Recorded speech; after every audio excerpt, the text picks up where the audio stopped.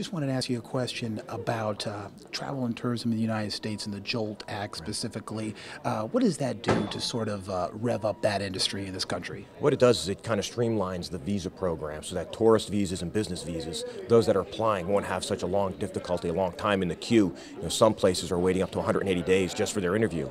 And while the global long-haul travel market has expanded over the last decade, the share coming to the U.S. has actually decreased because of the obstacles to getting a visa.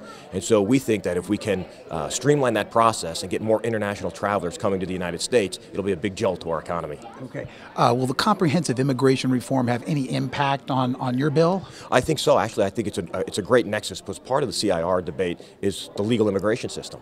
Uh, and so this will give us the opportunity to talk about the impacts of streamlining and fixing the legal immigration system as well, whether it's for uh, resident immigration or for travel and tourism immigration.